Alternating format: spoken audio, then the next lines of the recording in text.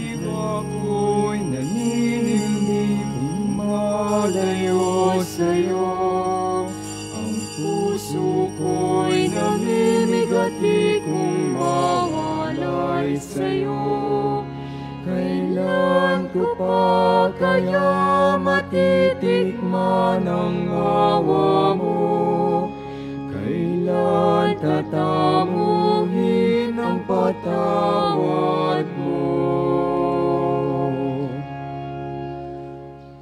Sa ngala ng Ama, ng Anak at ng Espiritu Santo, Amen. sumainyo ang Panginoon. At sumaiyo rin. Mga minamahal na mga kapatid, itaas natin sa Panginoong Diyos ang mga biyaya na ating hinihiling.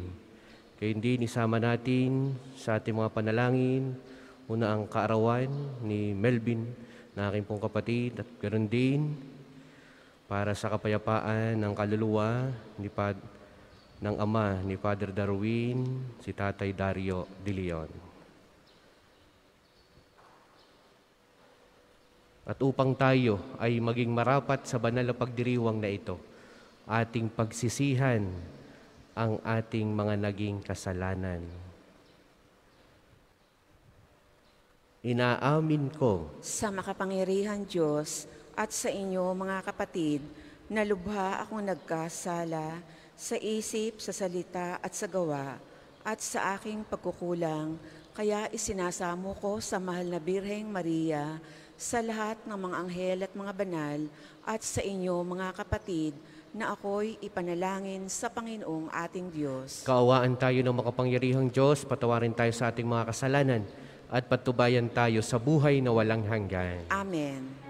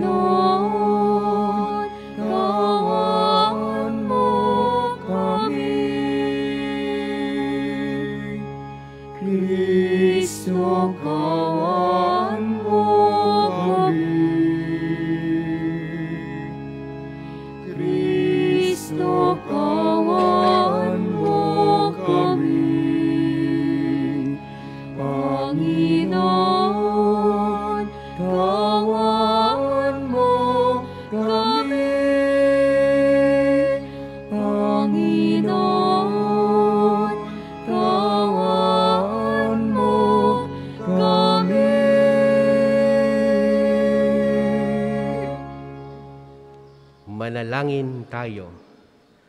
Ama naming makapangyarihan sa pagganap namin sa apat na pong araw na paghahanda. Ang aming kalooban ay iyong pagindapatin para sa pagdiriwang ng Pasko ng pagkabuhay upang masaya naming maip- maipahayag ang magandang balita ng iyong pagliligtas sa pamagitan ni Yesu Kristo kasama ng Espiritu Santo magpasawalang hanggan. Amen.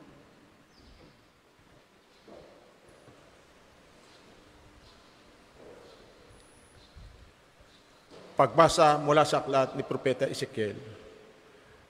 Bumalik kami sa pintuan ng templo. Sa ilalim nito'y may agos ng tubig papunta sa silangan. Ang templo'y parap sa silangan. Ito'y nagmula sa gawing timog na bahagi ng templo. Sa gawing timog ng altar, lumabas kami sa pintuan sa gawing hilaga at iniligid niya ako papalabas sa pintuan sa gawing silangan. Doon ay may mahinang agos ng tubig mula sa gawing timog ng hagdanan. Nagtuloy kami sa gawing silangan.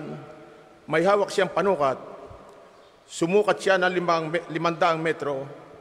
Pagkatapos, lumusong kami sa tubig na hanggang bukong-bukong. Sumukat uli siya ng limandaang metro. At nang lumusong kami sa tubig, ito'y hanggang baywang. Sumukat uli siya ng limandaang metro. Ngunit yun ay isa ng ilog at hindi na ako makalusong. Malalim ang tubig at kailangan languyin upang matawid. Sinabi niya sa akin, Tao, tandaan mo ang lugar na ito. Naglakad kami sa pampang ng nasabing ilog. Nang ako'y pabalik na, nakita ko ang makapal na puno sa magkabilang pampang ng ilog. Sinabi niya sa akin, ang tubig na ito'y papunta sa dakong silangan hanggang dagat na patay. Pag-abot nito sa dagat na patay, malilinis ang tubig nito. Lahat ng lugar na maagusan ito ay magkakaroon ng lahat ng uri ng hayop at isda. Pagdating ng agos na ito sa dagat na patay, magiging tabang ang tubig ng dagat. Lahat ng lugar na abutin nito ay magkakaroon ng buhay.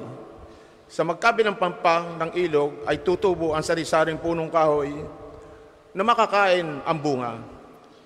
Hindi malalanta ang mga dahon nito, ni mawawala ng bunga pagkat ang didilig dito ay ang tubig na umagos mula sa templo.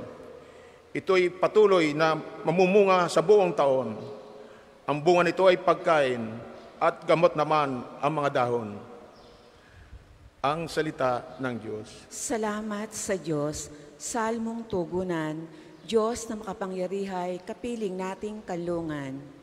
Diyos na makapangyarihan, kapiling nating kanlungan.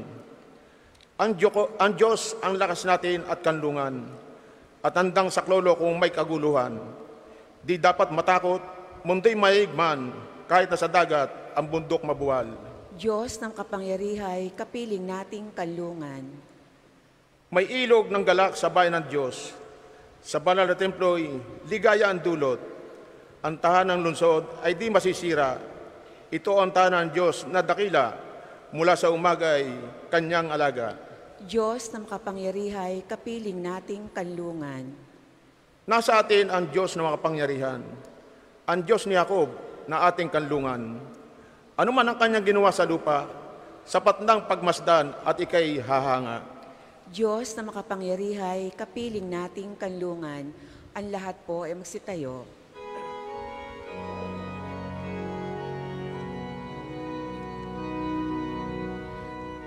Pusong ligawan, lobing tunay na tapat.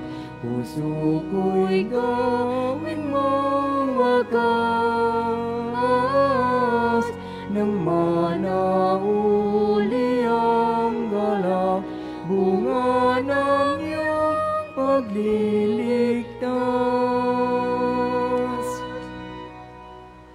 Sumainyo ang Panginoon. At sumaiyo rin. Ang mabuting balita ng Panginoon ayon kay San Juan. Papuri sa iyo, Panginoon. Nang dumating ang pagdiriwang ng piyesta ng mga Hudiyo, pumunta sa Jesus sa Jerusalem. Sa lungsog na ito, malapit sa pintuan ng mga tupa, ay may malaking deposito ng tubig na may limang portiko. Kung tawagin ito sa wikang Hebreo ay Bethesda. Natitipon dito ang maraming may sakit, mga bulag, mga pilay at mga paralitiko. Hinihintay nilang gumalaw ang tubig sapagkat may panahong bumababa ang isang anghel ng Panginoon at kinakalawkaw ang tubig. Ang maunang lumusong pagkatapos na makalawkaw ang tubig ay gumagaling, anuman ang kanyang karamdaman. Dooy may isang lalaking 38 taon nang may sakit at siya'y nakita ni Jesus. Alam nitong matagal nang may sakit ang lalaki. Tinanong siya ni Jesus, Ibig mo bang gumaling? Sumagot ang may sakit, Ginoo, wala pong maglusong sa akin kapag nakalawkaw na ang tubig. Patungo pa lamang ako roon ay may nauuna na sa akin. Sinabi sa kanya ni Jesus, Tumindig ka, dalhin mo ang iyong higaan at lumakad ka. At pagdakay, gumaling ang lalaki. Dinala ang kanyang higaan at lumakad. Nooy araw ng pamamahinga, kaya't sinabi ng mga Hudiyo sa lalaking pinagaling, Araw ng pamamahinga ngayon, labag sa kautusan na dalhin mo ang iyong higaan. Ngunit sumagot siya, ang nagpagaling sa akin na nagsabing dalhin ko ang aking higaan at lumakad ako. At siya'y tinanong nila, Sino ang nagsabi sa iyo na dalhin mo ang iyong higaan at lumakad ka? Ngunit hindi nakilala ng lalaki kung sino ang nagpagaling sa kanya sapagkat nawala na si Jesus sa karamihan ng tao. Pagkatapos, nakita ni Jesus sa loob ng templo ang lalaki at sinabihan, magaling ka na ngayon. Huwag ka nang magkakasala at baka may mangyari sa iyo na lalo pang masama. Umalis ang lalaki at sinabi sa mga Hudyo na si Jesus ang nagpagaling sa kanya. Dahil dito, si Jesus ay sinulang usigin ng mga Hudiyo sapagkat nagpagaling siya sa araw ng pamahinga. Mga minamahal na mga kapatid, ang mabuting balita ng Panginoon. Pinupuri ka namin, Panginoong Heso Kristo.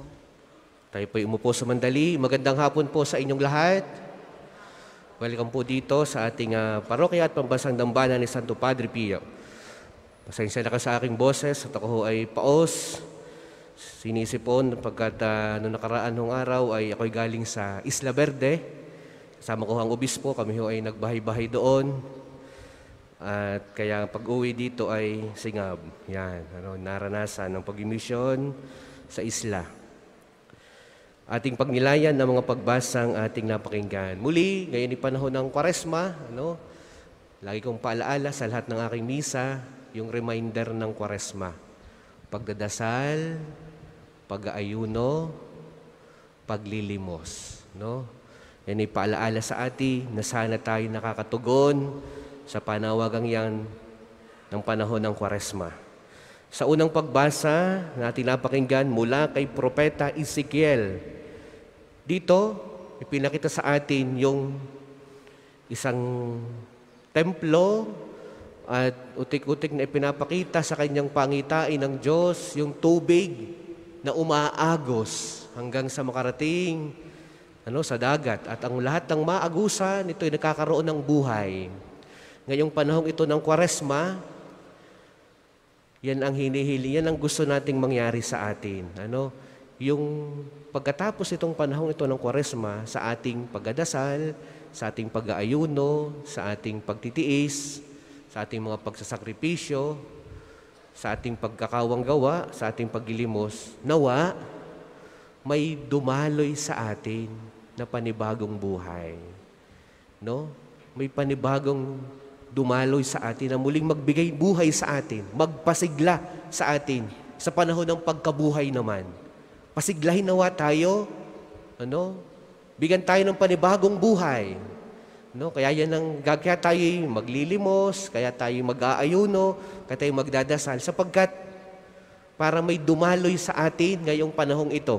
Ano? May dumaloy na masaganang biyaya sa atin. Sa mabuting balita na ating napakinggan, narito ang isang lalaking paralitiko, 38 taon nang may sakit. At siya ay naandun lamang sa nung mga para ay mag-pilgrimage, ito isa sa aming napuntahan. Medyo malayo nga naman bago ka makalusong doon sa baba. Kaya walang, isa'y paralitiko, sabihin nangangailangan ng tulong ng iba. So sa 38 taon na siya, sa, so, halos daw ay nasa 13 times, 13,000 times na nakalawkaw yung tubig, pero ganon kadaming hin- beses ding hindi siya nakababa. Dahil walang taong natulong sa kanya sa mahabang panahon. Kaya makikita ninyo yung pagtitiis, yung sakripisyo nung may sakit na ito sa mahabang panahon, yung kanyang pag-aantay. Makikita rin niyo yung kanyang pag-aantay. At yun nga, nagkaroon ng kaganapan ng kanyang pag-aantay nang si Jesus ay dumating. Ang sinabi sa kanya ay, anong gusto mong gawin ko sa iyo? Tingnan ninyo ito. Alam niya ng Diyos na yan ay paralitiko. Alam niya ang kanyang sakit. Pero tinanong pa rin niya, anong gusto mong gawin ko sa iyo? Kaya pag tayo nagdadasal, lumalapit sa Diyos, be specific sa ating sasabihin. No? Maging konkreto tayo. Maging detalyado tayo sa pagsasabi sa Diyos.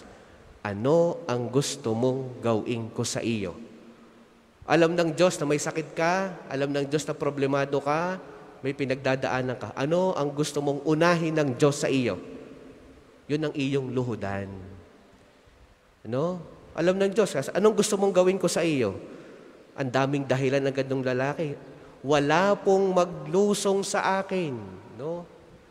No? Ang daming dahilan. No? Ano sabi ni Jesus? No, kuhanin mo ang iyong higaan, tumindig ka, no? Iuwi mo na, no? Lumakad ka. Ganun lang kasimple sa Diyos. Pero napakahalaga yung pag-aantay, yung value of waiting sa Diyos. Marahil marami tayong ipinagdadasal, pero dadating din ang tamang panahon ng Diyos sa atin at yan ay ipagkakaloob sa atin. Yung tiyaga, yung pagtitiis, at yan ay ipagkakaloob din sa atin. At yan ay ginawa nung lalaking paralitiko. Madami doon ang may sakit. Ang sabi, marami ang bulag, marami ang paralitiko, ano, naroon lahat ng uri ng sakit, na may sakit ng mga tao. Parang dito, pagka September 23 o 23rd of the month, narito ng uri lahat ng sakit, no? Pero, sa dami ng naan dyan, hindi man lahat na pagaling, pero merong umuuwing gumaling at bumabalik para magpasalamat. No? Ganyan ang himala ng Diyos. Ano? Mahalaga yung pag-aantay. Dadating din ang taong panahon para sa atin. No? Tayo gagaling din sa anumang karamdamang ating ipinagdadasal. Mahalaga tayong mag-antay sa taong panahon ng Diyos para sa atin. Yun nga, panawagan ng kwaresma, pagdadasal. Personalin ninyo ang Diyos ngayong panahong ito. Magsakripisyo kayo, mag-ayuno, no? maglimos, magkawa, magkawang gawa. Bakit? Nakakabawas siya ng kasalanan. Kaya yung muli po, yan ang panawagan sa atin. Sana, sana no, meron tayong gagawin, huwag niyong babaliwalain ang panahon ng kwaresma. Para sa mga maghahandog ng sobre, pakihulog na lamang po sa buslo.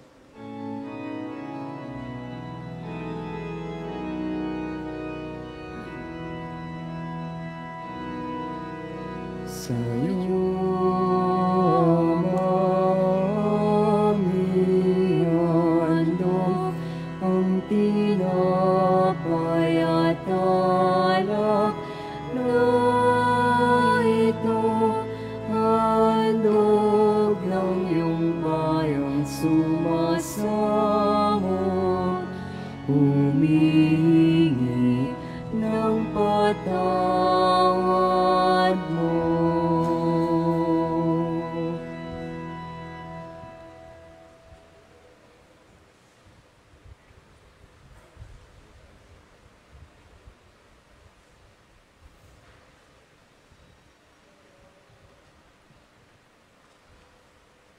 Kapuri-puri ka, Diyos amang lumikha sa sanlibutan sa iyong kagandahang loob. Narito ang aming mayaalay mula sa katas ng ubas at bunga ng aming paggawang alak na ito para maging inuming nagbibigay ng iyong espiritu. Kapuri-puri ang pong may kapal, ngayon at kailanman.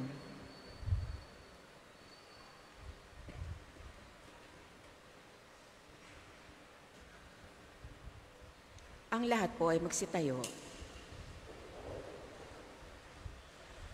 Manalangin kayo mga kapatid upang itong ating paghahain ay kalugdan ng Diyos amang makapangyarihan. Tanggapin nawa ng Panginoon itong paghahain sa iyong mga kamay, sa kapurihan niya at karangalan sa ating kapakinabangan at sa buong sambayaniyang banal. Ama naming lumika, iniaalay namin sa iyo ang mga kaloob mong ito bilang pagtanaw namin ng utang na loob sa iyong paglingap sa amin araw-araw at bilang pagganap sa iyong pagkopkop sa aming lahat na iyong binubuhay. Sa pamagitan ni Kristo, kasama ng Espiritu Santo, magpasawalang hanggan. Amen.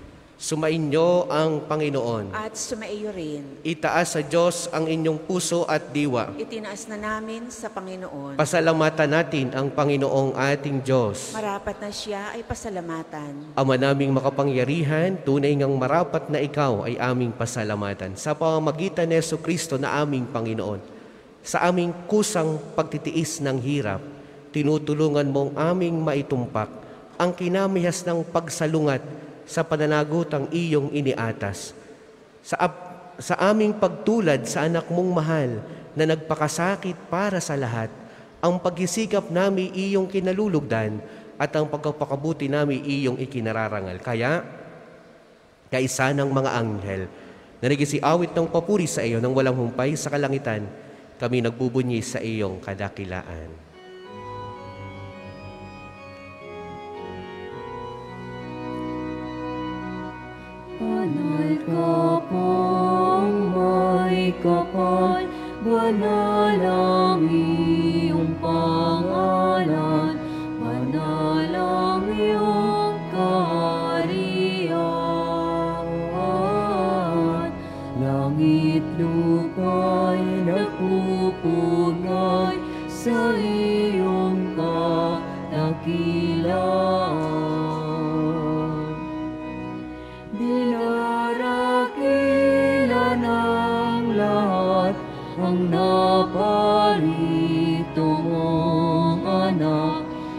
siyang nagmulat sa bulan.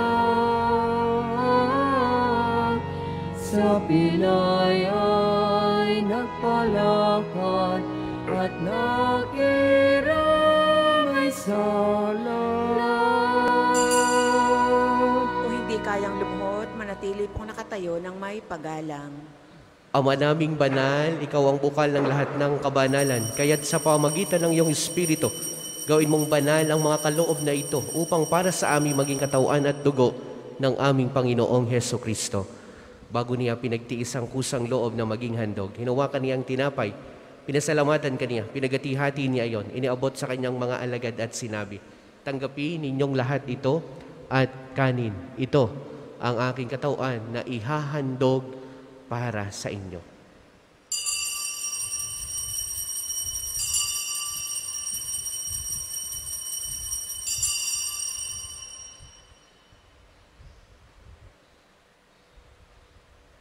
Gayon din naman noong matapos ang hapunan, hinawakan niyang kalis.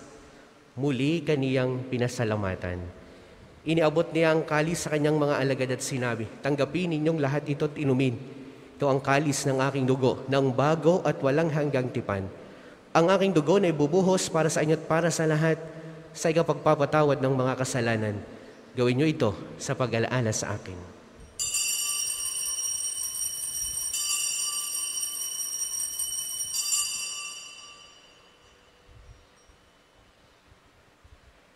Ipagbunyi natin ang misteryo ng pananampalataya. aming ipinayang na namatay ang iyong anak na buhay bilang Mesiyas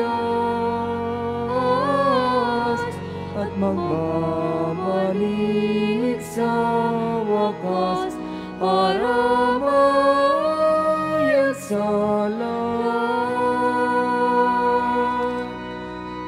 Ama, ginagawa namin ngayon ang pag-alaala sa pagkamatay at muling pagkabuhay ng iyong anak.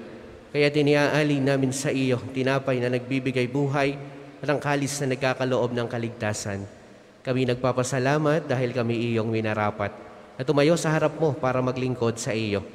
Isinasamo namin kaming magsasalo-salo sa katawan at dugo ni Kristo ay mabuklod sa pagkakaisa sa pamamagitan ng Espiritu Santo.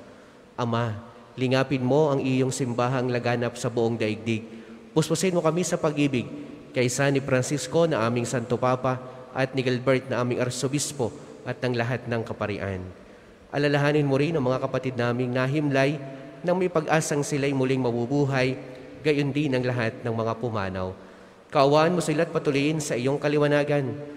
Kaawaan mo at paging dapatin kaming lahat na makasalo sa iyong buhay na walang wakas.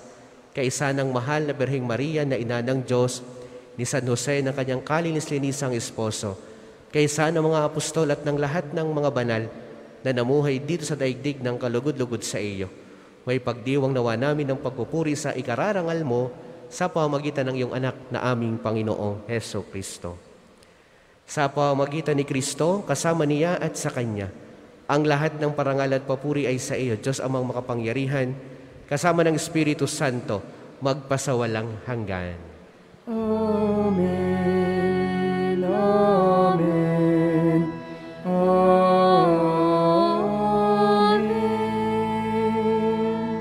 Ang lahat po ay magsitayo. Tayong lahat, ating dasalin ang Ama namin. Ama namin, Sumasalangit ka, sambahin ang ngalan mo, mapasa amin ang kaharian mo, sundin ang loob mo dito sa lupa para na sa langit. Bigyan mo kami ngayon ng aming kakanin sa araw-araw.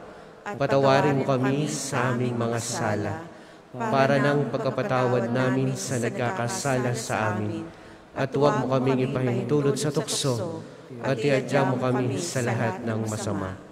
Hinihiling namin kami iadya sa lahat ng masama, pagkalooban ng kapayapaan araw-araw, iligtas sa kasalan at ilayo sa lahat ng kapahamakan, samantalang aming pinananabigan ang dakilang araw ng pagpapahayag ng tagapagligtas naming si Heso Kristo. Sapagkat iyo ang kaharian, ang kapangyarihan, at ang kapurihan magpakailanman. Amen. Panginoong Heso Kristo, sinabi mo sa iyong mga apostol, Kapayapaan ang iniiwan ko sa inyo, ang aking kapayapaan ang ibinibigay ko sa inyo.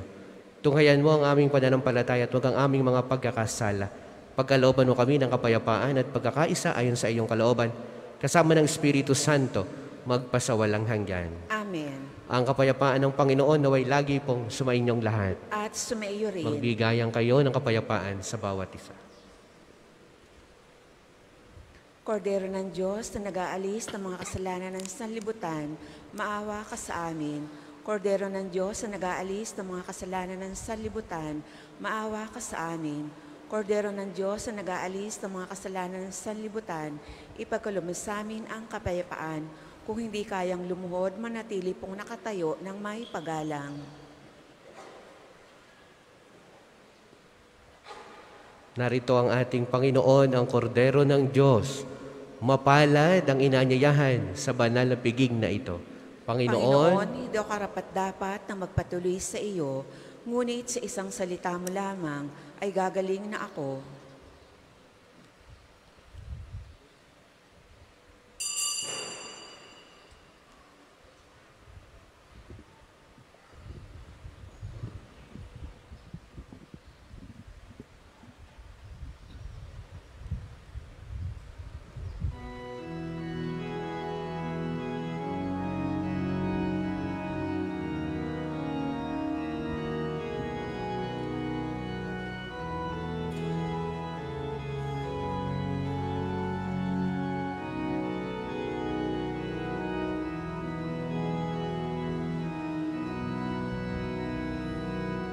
Jesus na aking kapatid,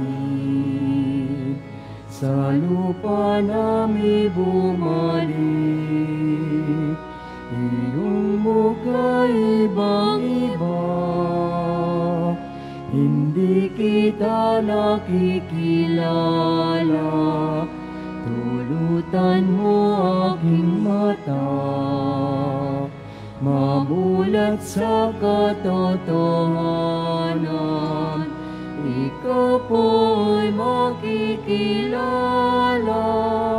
Sa taong mapagkumbaba.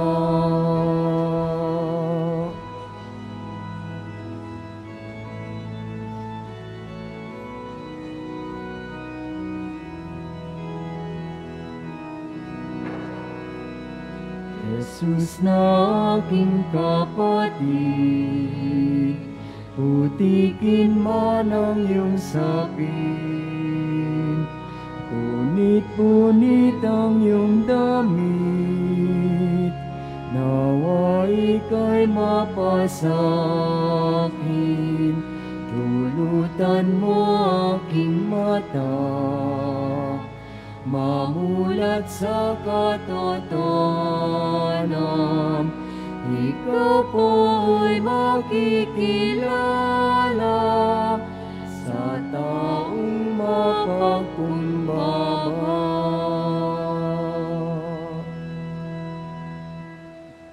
Ang isasagawang second collection po ay ginagamit sa patuloy na pagpaunlad ng parokya at pambansang dambana ni Santo Padre Pio. Salamat po sa inyong handog. Jesus na aking kapatid, putikin man ang iyong sapit. Punit-punit ang iyong damit, nawa ika'y mapasakin. Tulutan mo aking mata, Mamulat sa katotohanan, ikaw po'y makikilala sa taong mapagkumbaba. Ang lahat po ay magsitayo. Manalangin tayo. Ama naming mapagmahal, gawin mong dalisay ang aming kalooban at panibaguhin mo ito sa aming pakikinabang upang ang tulong mo ngayon at sa hinaharap ay aming lubusang matanggap. Sa pamagitan ni Kristo kasama ng Espiritu Santo, magpasawalang hanggan. Amen. Panalangin ng pagtitiwala kay Santo Padre Pio, tayo pong lahat. Padre Pio, tagap Chelsina, Mongheng Banal, Pintakasin Santo ng milenyong kasalukuyan, gabay namin sa pagtahak Sa landasing makalangit, makalangit, takbuhan sa pangailangan, huwaran ng pagtitiis. pagtitiis. Sa iyo namin inilalapit Aming mga aming mga kagipitan, kagipitan. Sa iyo po ibinibilin, Kalusugan kalusugan at at kabuhayan.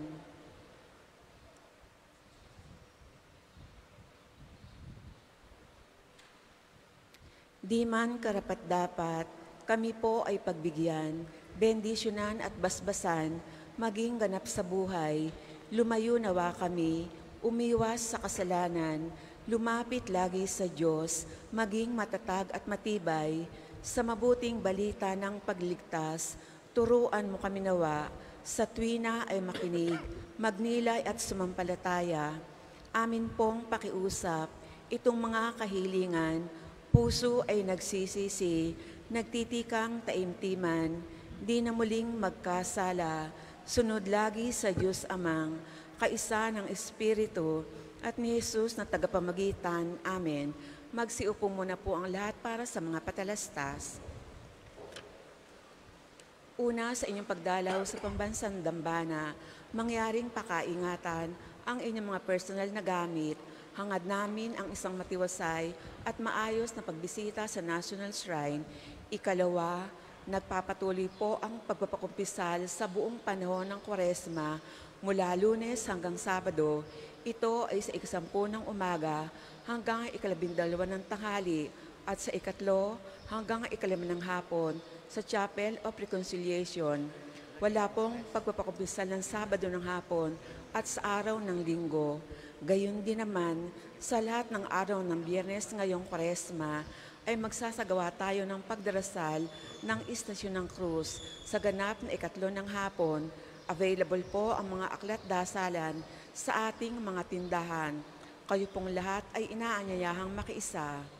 Ikalima, sa darating pong Huwebes ay ikadalawampu at tatlo ng buwan, ang araw ng pagpapagaling ng Panginoon sa pamagitan ni Santo Padre Pio, amang oras ng healing mass at healing liturgy na may pagagawad ng langis ay sa ganap na ikasyam ng umaga at ikalima ng hapon. Kayo po at ang inyong mga may sakit ay inaanyayahan. Ika-anim, mga kapiyo, bahagi ng pagdiriwang ng kaarawan ni Padre Pio ngayong ikadalumput lima ng Mayo, tayo ay magkakaroon ng car-raffle dito sa Pambansang Dambana. Ito ay fundraising program upang matulungan ang ating mga scholar ni Pio. Maari kayong makabili ng tickets paminsahan sa HR office o sa mga naka-station sa paligid ng simbahan sa halagang 500 piso lamang. Panoorin po natin ito. Maraming salamat po at mangyaring panatilihin natin ang kalinisan, katahimikan at diwa ng pananalangin sa loob at labas ng ating simbahan. Magsitayo na po ang lahat para sa pagbabasbas ng religious articles. O Panginoong Diyos, Ikaw ang bukal ng lahat ng pagkapala at biyaya. Ibuhos mo ang iyong bendisyon sa mga gamit na ito, sa pananalangin, mga rosaryo, mga imahin, mga dasalan, na nagpapaalala ng iyong kabutihan, kabanal at pagmamahal sa amin, upang ang lahat ng dumulog at magdasal gamit ang mga ito ay magtamo ng iyong awat biyaya. Loobin mong tularan nawa nila ang kabanal at aral ng Panginoon at ng mga santo magpasawalang hanggan. Amen. Ama namin, sumasalangit ka, sambahin ang ngalan mo, mapasa amin ang kaharian mo, sundin ang loob mo dito sa lupa para nang sa langit. Bigyan mo kami ngayon ng aming kakanin sa araw-araw at patawarin mo kami sa aming mga sala para nang pagkapatawad namin sa nagkakasala sa amin. At huwag mo kami ipahintulot sa tukso at iadya mo kami sa lahat ng masama. Amen. Abagi noong Maria, napupuno ka ng grasya, ang Panginoong Diyos ay sumasa iyo. Bukod kang pinagpala sa babaeng lahat, at pinagpala naman iyong anak na si Jesus. Santa Maria, Ina ng Diyos, ipanalangin mo kaming makasalanan, ngayon at kung kami mamatay. Amen.